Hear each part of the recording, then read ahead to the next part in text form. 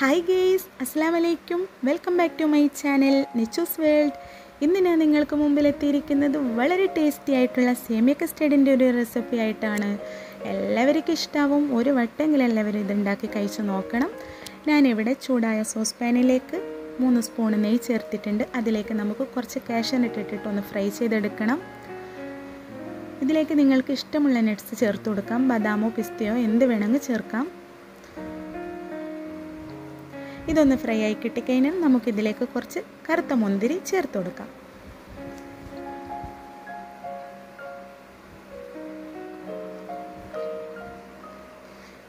ഇനി ഇത് നല്ലപോലെ ഒന്ന് ഫ്രൈ ചെയ്തെടുക്കാം.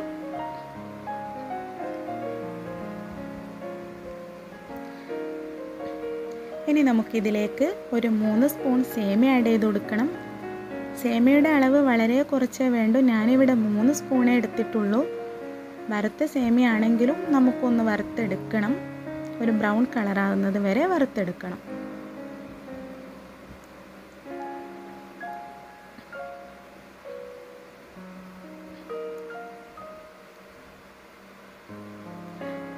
ഇനി നമുക്കിതിലേക്ക് അര ലിറ്റർ പാൽ ആഡ് ചെയ്ത് കൊടുക്കാം.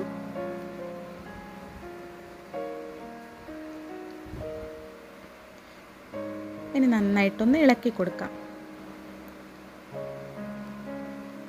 ഇതൊന്ന് തിളച്ച് വരുന്നത് വരെ നമുക്കൊന്ന് വെയിറ്റ് ചെയ്യാം. നമ്മുടെ സേമിയ തിളച്ച് വന്നിട്ടുണ്ട്. ഇനി ഇതിലേക്ക് രണ്ട് സ്പൂൺ മിൽക്ക് മെയ്ഡ് ചേർത്ത് കൊടുക്കാം.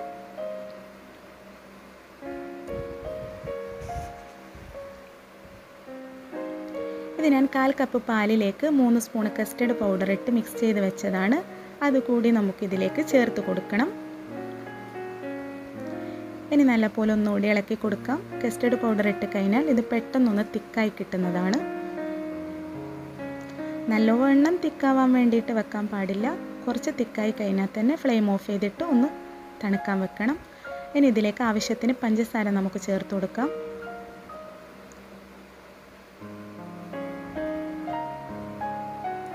ഏകദേശം ഈ ഒരു തിക്നെസ്സിൽ കിട്ടിക്കഴിഞ്ഞാൽ നമുക്കൊന്ന് ഇതൊന്ന് തണുപ്പിക്കാൻ വെക്കാം. മൂന്ന് മണിക്കൂർ നമുക്കിത് ഫ്രിഡ്ജിൽ വെച്ചിട്ടൊന്ന് തണുപ്പിച്ചിട്ടെടുക്കണം.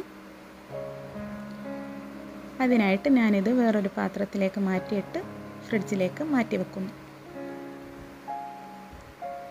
നമ്മുടെ സേമ ഇവിടെ തണുത്ത് കിട്ടിയിട്ടുണ്ട്. ഇനി നമുക്കിതിലേക്ക് അരിഞ്ഞ് വെച്ച ഫ്രൂട്ട്സൊക്കെ ചേർത്ത് കൊടുക്കാം. ഇത് ഞാനൊരു മാമ്പഴം അരിഞ്ഞ് വെച്ചതാണ്. അത് ചേർത്ത് കൊടുക്കുന്നു. ഒരനാറ് ഒരു പഴം കട്ട് ചെയ്ത് വെച്ചിട്ടുണ്ട് ചെറുതായിട്ട് അത് ചേർത്ത് കൊടുക്കാം. ഒരു ആപ്പിൾ ചെറുതായിട്ട് കട്ട് ചെയ്ത് വെച്ചിട്ടുണ്ട് അതും കൂടി നമുക്ക് ചേർത്ത് കൊടുക്കാം.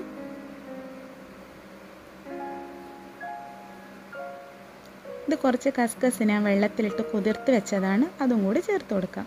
നമുക്ക് ഫ്രൂട്ട് സലാഡിൽ ചേർക്കുന്ന എല്ലാ ഫ്രൂട്ട്സും ഇതിലേക്കും ചേർത്ത് കൊടുക്കാം.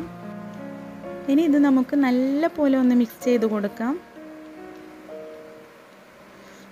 വളരെ ടേസ്റ്റാണ്. എല്ലാവരും ട്രൈ ചെയ്ത് നോക്കണം അഭിപ്രായം അറിയിക്കണം.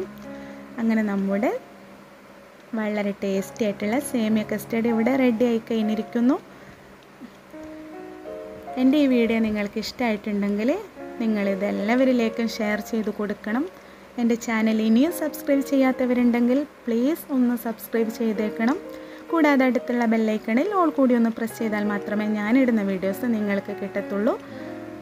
അടുത്തൊരു കിടിലം വീഡിയോ ആയിട്ട് നിങ്ങൾക്ക് മുമ്പിലെത്തുന്നതും വരെ എല്ലാവർക്കും അസ്സാം വലൈക്കും ബൈ ബൈ.